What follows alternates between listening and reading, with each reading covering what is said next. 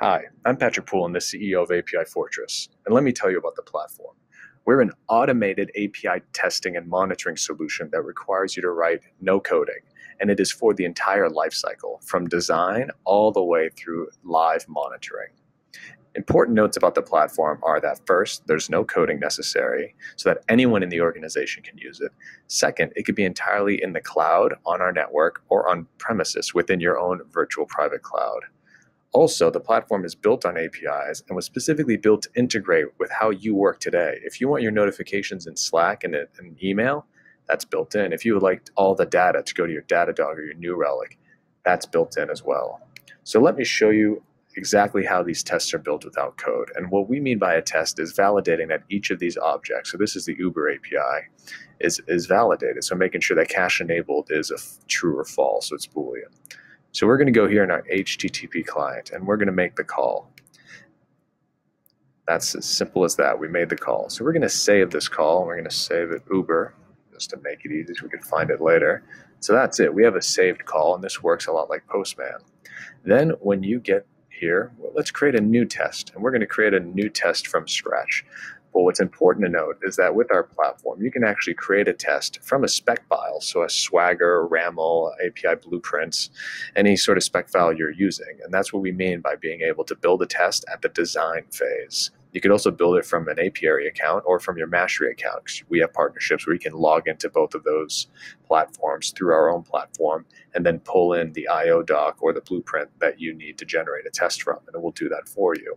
But let's generate one by hand here. So we're going to go to the console composer and we're going to click on HTTP client and we'll see right here, this is our call that we just saved.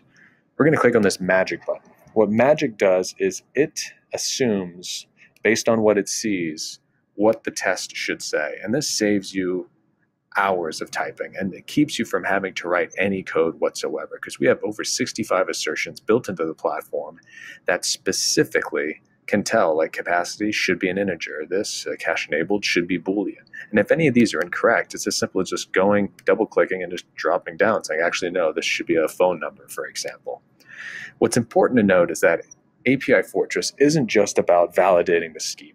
We are also validating one, the actual data being sent in the object, so making sure URL is a URL. Two, you can actually validate the business logic using our if component. So if it's a pair of shoes, you expect the sizes to be 2 through 20. If it's a pair of pants, you expect the sizes to be 28 through 38.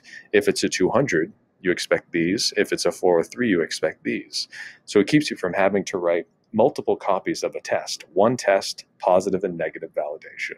Second, you can chain requests together very easily. So one get can inform a second get. So you can get do the entire flow of an average customer would see.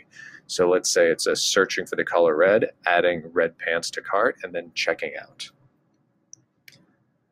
When these tests are saved, they can run in various ways. The first is manually. You just go to the test and you just run, run the list of tests. Second is using our API or our Jenkins plugin, make them part of your continuous deployments. Again, this is when we're talking about the entire API lifecycle. Finally, you can schedule these tests to run automatically. So right here, you could set it up to run from Virginia every 15 minutes. I want to point out again that what you're seeing here is the cloud version, but this entire platform runs exactly as is within your own environment as well, in your own virtual private cloud. So what happens when you schedule these tests and it finds an issue? Well, you get notified. That notification leaves you leads you to this report. This report is very explicit. This is above and beyond what you'll see with other platforms in that we tell you exactly what the call is and how many errors we found. And then you, when you go to the error, we're very specific in telling you what was expected and what we found. So we expected recipient to be one of these 17 objects, but what actually was was null. And when we click on see stack details, we actually take a snapshot of the HTTP header and we also store the payload itself so that when you get this error message and you look into this log, you don't need to reproduce the error because we have exactly all the information pertinent to this error available to you at the click of a button. Finally, what's something that everyone wishes they had but they don't? Well, if you schedule these tests to run, why in the world wouldn't you have a status page? A single URL that anyone at your organization can click on to see exactly the health of your API program. The entire lifecycle of the API can be tested by anyone in the organization. giving top down insight as to the real time health and metrics of the API. We're not just testing for performance, we're not just testing for uptime, we're testing for accuracy and functional uptime. Only 10% of API errors are caught within 24 hours, and it's because we're not testing for accuracy today. And that's exactly what API Fortress looks to fix without requiring you to write any code. That's API Fortress. Go to the website and create a free trial, and please talk to us if you have any questions. Thank you very much.